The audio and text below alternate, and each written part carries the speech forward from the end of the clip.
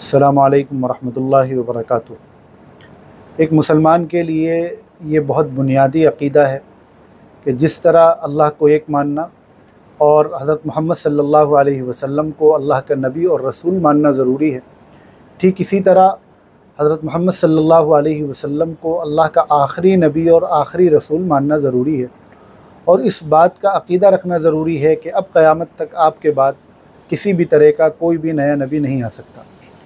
इसी तरह इस्लाम के बुनियादी अकायद में से एक बात यह भी है कि जिस तरह कुरान मजीद ये अल्लाह की जानब से वही है और कुरान हजत है, उस पर ईमान लाना ज़रूरी है।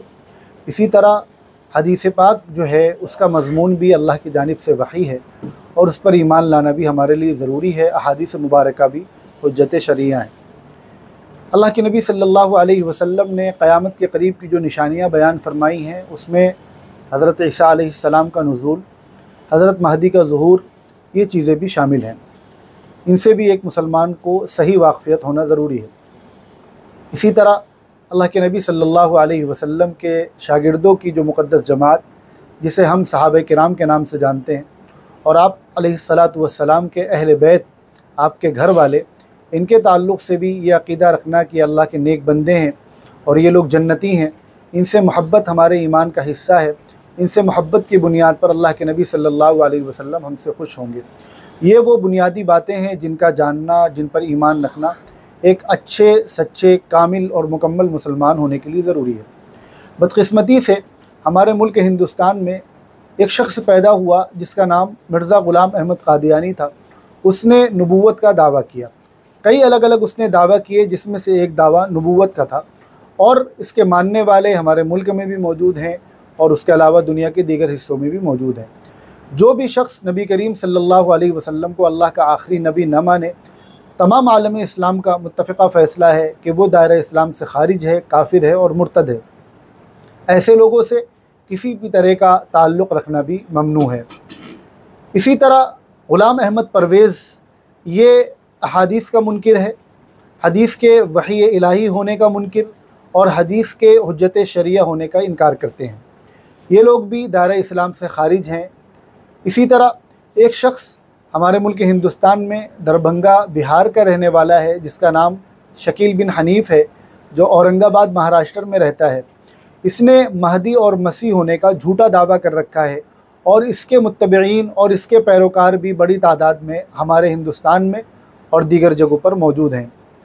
इसी तरह साहब कराम के हवाले से हमारा जो बुनियादी अकीदा होना चाहिए इसके बरखिलाफ़ अहल बैत का नाम लेकर, सहाब कराम को बुरा भला कहने वाले और बाद सहाबा का नाम लेकर बाद अहल बैत को मुरीद इल्ज़ाम ठहराने वाले लोग भी हमारे समाज में मौजूद हैं और वो अपने आप को इस्लाम का सही नुमाइंदा बताते हैं। हर मुसलमान की ज़िम्मेदारी है कि उसे इस्लाम के सही अकायद से वाकफ़ियत हो और जो लोग भी गलत अकीदा बतलाकर उसे इस्लाम का नाम देने की कोशिश कर रहे हैं, उनसे आगाह हों और उनसे बचने की कोशिश करें।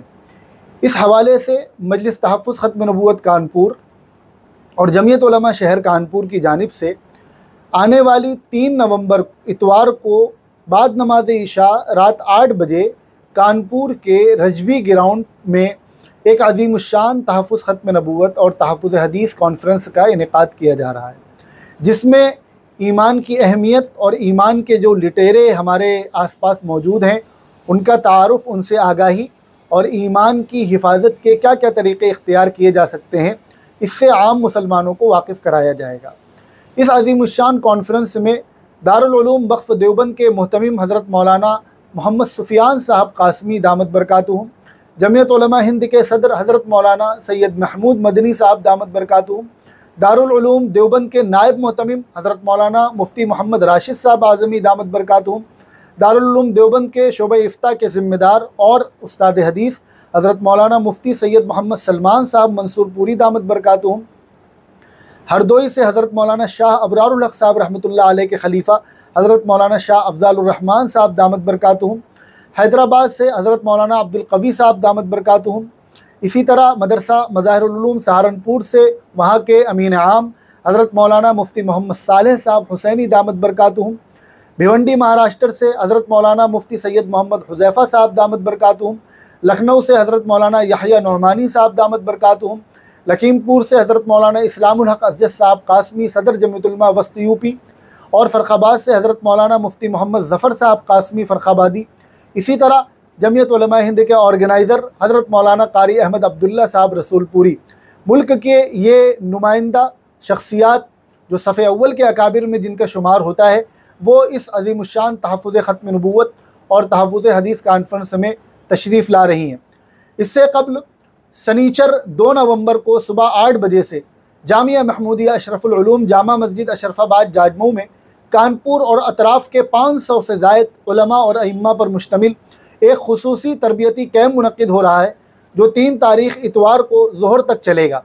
मैं जमीतुलमा शहर कानपुर की जानब से और मजलिस तहफ़ ख़त्म नबूत कानपुर की जानब से तमाम मुसलमानों से ये अपील करता हूँ कि ईमान की हिफाजत के लिए, अक़ीदे की हिफाजत के लिए और अल्लाह के आखिरी पैगंबर जनाब महमद रसूलुल्लाह सल्लल्लाहु अलैहि वसल्लम की ख़त्म नबूत की हिफाजत और उसको बयान करने के लिए होने वाली इस अजीमशान कॉन्फ्रेंस में हज़ारों और लाखों की तादाद में शरीक हों और कराम के बयान से मुस्तफ़ हों। याद रखें, तीन नवंबर 2024 बरोज़ इतवार, बाद नमाज़ ईशा रात आठ बजे रजबी ग्राउंड परेड कानपुर।